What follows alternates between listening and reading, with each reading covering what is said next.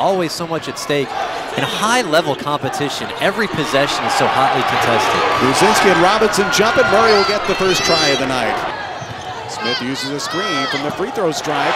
Bangs it home. The long miss. A three on two for the Racers trying to stop the drought and Eve scoops and scores. Murray bench where Smith picks it up and fires ahead. Gilmore running the floor for a score.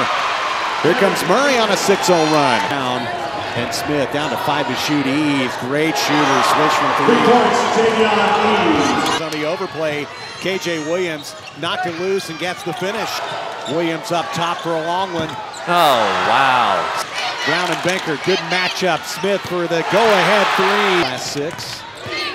Gilmore's been part of that with the left score.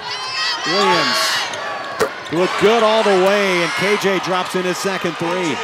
First half two for that matter. Williams, heat check, drills another one.